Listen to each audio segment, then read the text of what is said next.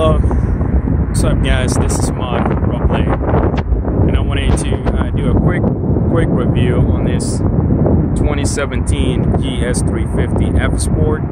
And um, I don't know if you can see, it's just the sun right now, and um, it's not a full review, but it is a quick review, and uh, just to show you around um, the vehicle. Okay.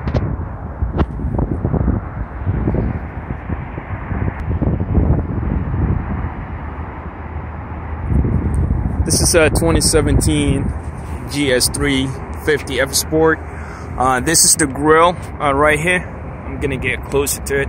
So you get this meshed grill. Uh, there's a little on the right side here too. Uh, just a different look on the Sport model, uh, the F Sport model than the um, than the, the non-Sport model. And you also get these rims. These are the rims that come in with the F Sport you also get um, Sport badges. And also remember this, uh, you can lock the vehicle uh, here and uh, mirrors uh, go in and out. Unlike you just put your hand inside like so. Okay, and that also goes out um, with the mirror. And you can also have that uh, turn that feature off. Uh, with the GS, you can also do it here. Same thing, it locks the doors. if you have passengers with you, and you want them to go all in at the same time open the door from here and then um, open the door here so that passengers from the other side uh, of the vehicle can go in at the same time um, as you. Um, another thing that you have with the uh, uh, sport model is the um, F Sport model back here. Uh, you have that as well and uh, the bumper on the rear is a little different as well. Um, the exhaust on both of the vehicles they are meshed with the um, uh, or blended with the rear bumper. Uh, the other thing you have uh, some do come in with the spoiler some don't. This is a, a um, you can get it with both uh, either sport model and non-sport model but majority of them do come in with the sport you have this cargo net here okay? And you can lock the cargo uh, you see I left these open for a purpose. You can lock them down. There's a little that tie down. You just to take this little piece here and just tie it down on here. Like so so that this will not will not move. Uh, you also have your first aid kit here and uh, this cargo net goes um, the, uh, the cargo cover does go over uh, here. This this one opens up and it goes up here. Uh, there's an opening to the um, uh, cabin for the uh, rear seats. And these tie downs you have another one here. And you also have another one there and here. So you have those. So in case you have a big suitcase that's heavy and you don't want it to move around you can just tie it down. Another thing i like about the gs is this piece here in the middle. So you can get this put a uh, grocery bag here or uh, you know uh, whatever you want to uh, put down here. As far as long as it is not heavier than uh, 11 pounds uh, or 5 kilograms.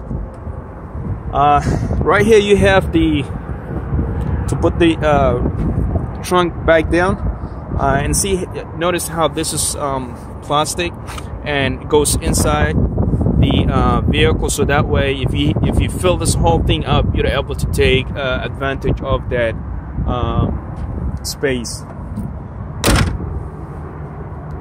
And this takes a premium. Uh, another thing I want to show you and we'll sit in the back seat um, but these are LED these are LED lamp uh, lamps for all doors um, you also have this is a, a finish for the sport model, and you also the uh, Rioja Red only comes in the sport model. So if you if you like the red interior, okay, this is the red interior. If you like that red interior, definitely uh, look into the uh, sport model. Um, so this is the opening that I just showed you from the from the uh, trunk. So you can get access to it. The seats do not fold down. Um, and um, able to close this Okay, here we go. And um, here's your lighting for the rear seats. And this opens up with the, uh, well, turns on with the front. I'll show it to you later when I get to the front. Uh, and uh, you have a little storage, more storage. And your drinks are here. And this also comes down and this goes out depending on the size of the cup. And um, there's also more cups uh, another cup you can put there and then it's a little more you know you can put your cell phone there for example or something you know small. And uh, this uh, black liner it comes with the uh, with the sport model. Okay? And you also have vents back here and let me take this off. 12 volt cigarette lighting. And these open up a little bit more to have. I don't know if you would use for a map but maybe something something else as you have a GPS with all these sport models. And you also get a Mark Levinson sound system. Um, majority of them do come in with that. And um, before we go uh, inside of here well I'm gonna show you a couple things here but before we go in I want to show you under the hood as well. Um, and uh, right here you have your memory settings uh, after three. Uh, this option here uh, when it is selected on auto that's why you're able to lock the doors and have the mirrors close in. But if you select it here or if you deselect it uh, it will they will stay um, uh, in their position they will not fold in. Uh, the you can lock the uh, the um, power windows um, except you and like the un unlock buttons. Little vent here that comes out on here uh, from the uh, defroster on the wind on the um, uh, heat defrosters.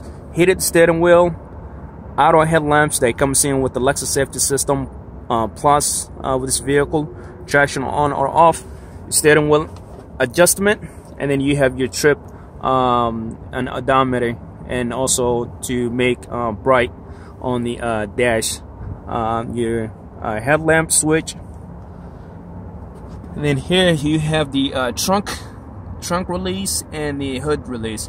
And also notice the aluminum pedals this comes in with the um, F Sport model. Uh, right here you have a couple adjustments on the seats. As you can see this is an extender here. This is your normal back and forth. Uh, you can also raise it up or raise down um, the back support there. And then also you can adjust this um, for the uh, on the uh, for the seat uh, for the lumbar support uh, right here on the lumbar and lumbar uh, but let me um, let me show you the the hood. And of course you have the sunroof. Um, these are intelligent high-low beams, so when uh, you select that little uh, auto option on the front uh, and you're driving at nighttime, the headlamps go to high beam or low beam depending on whether there is a vehicle in front of you or, or a vehicle coming towards you. On the hood, you have support for both sides, uh, so you don't need to hold. Uh, and uh, you also have this cover for the um, in case in case there is a fire. Here's your all uh, filling coolant reservoir. Washer fluid is here. You probably probably only gonna use probably only gonna use this really. Um, your brake fluid is there. Your air filter is here. Your all dipsticks there. Your brake your battery is there, positive and negative. Uh, but outside of outside of that, really uh, nothing else really needed on here. But I just want to show show it to you. Um, and now let's go inside and just show you a couple more other things and uh, the, it does come in with the Michelin uh, Michelin uh, tires so another thing that you get with the Sport is the F Sport steering wheel for the GSF Sport um, as far as here they're they're the same um, and you have the volume up and down, channel up and down, voice command, and the modes to go AM, FM satellite. um, pickup and also in call or accept or reject. This control adjusts the um, dash and I'll show that to you little quick. Uh, this is your lane departure alert and this is your um, dynamic cruise control. Uh, you set the cruise control here like normal, but push it on the back here and then push down uh, to set. And you can also increase uh, speed or decrease speed, but this allows you to set the cruise control, um, dynamic cruise control, so you can adjust uh, the vehicle in front of you and the speed in between. Uh, and by the way, this car does slow down when the vehicle in front of you slows down, regardless of what the um, what the setting of the speed is. Okay, so I'm gonna turn the music off uh, when we start, as I don't want this to um, to have an issue with YouTube. This is the start start button. And there's a couple other things I want to show you here. This is the auto or the uh, brake hold. Um, and when you come to a, stop or when you put the vehicle into park, the vehicle goes automatically into uh, parking brake. You don't have, as you can see here, there's no parking brake. Okay. So we'll go ahead and start.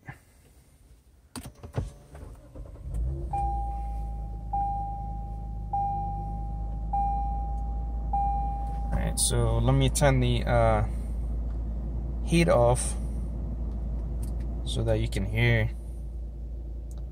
and we're also going to go back into the into the back of the vehicle. And I will adjust actually you know what? Let me adjust where this car is so that we're against the sun. So we can see the um we can see everything on here. Okay. It's a little bit better, but not the best. I'm gonna cover it with the back of the vehicle. It's, it's getting better now. Okay, so this is good.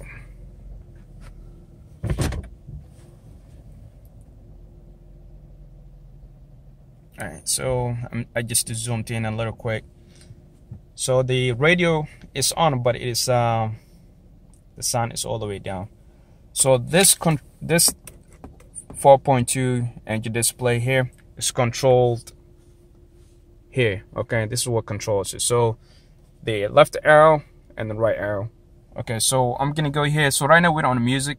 So we're gonna go to information, or you can just select the to go back to that screen. Just hit this just once, no matter where you are. So if I go here, so right now with music, and I press this button here it will take me to this screen. And this is like per se the main menu. And you can push down arrow uh, to get the range, to get the um, uh, after the fuel. Uh, the eco indicator, whether you you know saving fuel or whatnot. This is the um, uh, G-force. Um, and here, uh, I don't know why that. Oh, here, uh, here we go. So this is showing the tire pressure, the front of the vehicle, what it says tire pressure in PSI. That's where the front is and the back is on the bottom. So this changes, it just changed, I think, from 34 to 35 on the rear left uh, tire. But this adjusts back and forth depending on temperature. Uh, don't be alarmed. Your miles per hour shows right here is zero right now. So that's what it will show. Um, and you have your fuel you have your fuel and your temperature on the right and that's the park so if I take the shifter from uh, right underneath the zero if I take it out from park and I put it into drive that uh, parking brake goes off. If I put it back uh, just a second and a half it comes back on. That P is the parking sensors for the front of the vehicle and the rear of the vehicle. And um, you turn that uh, on or off and uh, and I will show you where that is uh, done. It's a it's a little trick to to get to it, and that other button here is I mean other display here the BSM is the blind spot monitor, and um so let me show you how to uh, turn the Lexus Safety System Plus, and uh, you will get to and I'm by the way using this button here to get all the way to the to the settings. So this is a lane keep assist. Actually, let me go back. I think I'm gonna go to the right here because the sun does go up a little on this uh on this angle and then it's messing up that display actually let me have the light off. Here we go. So this is the lane keep assist. Okay and um oh and by the way you have paddle shifters with the uh, with the uh, option to change the vehicle into manual mode. You have manual mode here. And you push it to the left and then you have manual mode so you can shift up or down. Shift up a gear uh, shift down a gear. Um, but you can also use the paddle shifters if you didn't if you want to keep the hands on the steering wheel. So the lane, lane keep assist uh, allows you to keep the vehicle uh, in your lane when you're in, in, a, in, a, in a cruise control. So when it's steering when the vehicle goes to the end of the lane uh, it brings the steering wheel uh, moves to the right or to the left depending on how far away you are from there. So you want to have that feature on um, and uh, and have the steering assist on. And it will also vibrate if you get out of lane uh, and it will also apply a little bit of pressure uh, if you didn't have the turn signal on. The pre-collision is um, also recommended to have that on and you can adjust this depending on whether you're on a highway or um, how much sensitivity you want. I highly recommend to have it the highest what I just put in instead of just one or two bars. The blind spot monitor is, um, for one thing, it was when it is on, that blind spot monitor is on. When it is off, that is uh, not not that's not displayed on the on the uh, dash. So as long as it is here, uh, the blind spot monitors are on. Okay, just so you know, it is easier, and that is what the blind spot monitor is. I'll turn it off and turn it back on. So that is the blind spot monitor.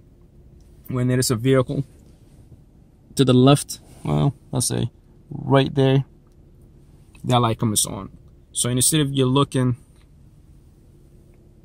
you could just uh, look here. That light is on, there's a vehicle there. Same thing, same thing with the uh, other mirror, uh, side, side mirror. Uh, to adjust the clock, it is on here.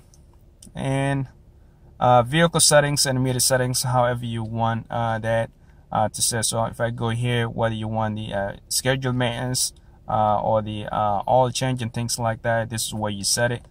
Meter settings is whether you want miles per hour PSI or um, you know whatever you want to set it for driver one driver two um, but that's all really preferences. Now one thing that we I didn't go over is the parking sensors. So where you turn that on or off is here.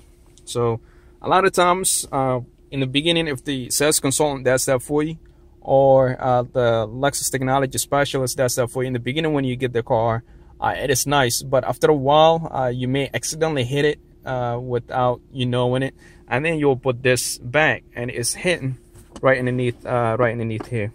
So the parking sensors and the rear sunshade. So if I press this, it opens up a sunshade back there okay? So the other thing that you have is the parking sensors so with the parking sensors if say you know you know maybe one day um, you accidentally hit it or a passenger sitting here accidentally you know try to put their arm maybe here and accidentally presses it and you don't know and one day you're trying to park into into something on the front and it does some beep and you're like hey what's going on? And now you try to figure out where to turn that where to turn that on and it's and it is here okay and, uh, and I hope you find this um, quick uh, overview of the uh, GS350 F Sport. And this you can when it comes all the way to the end you can pull up and you have uh, access to here really. If you want to put big items you can take this out and you have a lot of uh, storage here. You have your USB there and the uh, another 12 volt power source.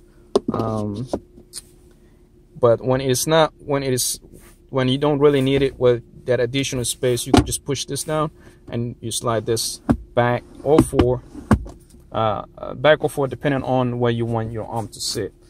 Um, your heated and ventilated seats are here okay? Driver and passenger and remember the heated steering wheel is on this side on the GS okay?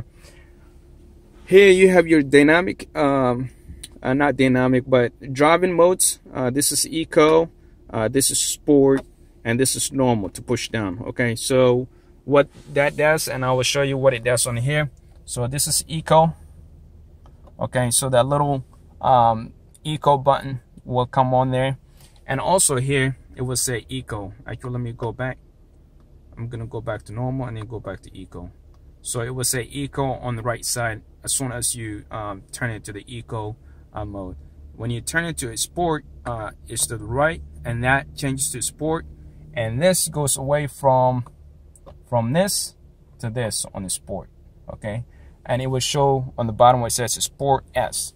You also have another option where you can change it to sport plus. You just turn you already turn this to uh, sport once and then you turn it one more time and that will show you sport plus. Uh, now when when you change into those into these modes the vehicle uh, engine uh, RPM uh, with the uh, transmission shift points as well as the suspension and steering uh, changes to more of uh, sport. I mean, literally you could turn steering with just lightly is um, it, it, turns quicker uh, than when you have in a normal or eco. Uh, you burn a little bit more fuel, not a whole lot, but it really depends on how heavy you're on the uh, gas pedal. Uh, you could be in a normal or uh, eco mode, and if you're heavy on the pedal, the vehicle will take off from eco to normal or sport depending on how much you uh, push the gas pedal okay? Right here you have your uh, garage doors one two three and you have the the um, electrochromatic uh, rear view mirror. And this is what I was talking about earlier uh, when you press these are the lights on either side they're LED uh, lamps. But when you press this that turns on and remember that turns on as well. Okay? So I turn it off. That turns on. Okay and i apologize if the if the phone is moving around quickly. Uh, i will try to edit it and uh, make it better but i'm not sure how it comes out to be. The screen here on the map uh, you can make it a full full screen by pressing this little uh, map um, and then when it comes full screen you could go here and say you want music or you want to see who you're talking to or who's you know answering the call or uh, a call that you're receiving. Um, and then here is your climate control. Uh, now two ways you can select this. You can take this knob just like a, a computer a mouse whatever you want. You can either push down to select it or you can just hit this enter button here or there's another enter button here you can select it. Depending on how you feel your hand is here you could do it uh, either or. Remember this is uh, uh, navigation with the voice activated. So you can pretty much say anything that you want by using the voice uh, command. If you ever want the voice commands and the um, uh, well really the voice commands and how to use them let me know. Give me your email. I'll send you the voice commands and you can uh, see what is um, convenient and will work for you and uh, we'll shoot an email uh, attachment to that for you okay? Your cup holders right here.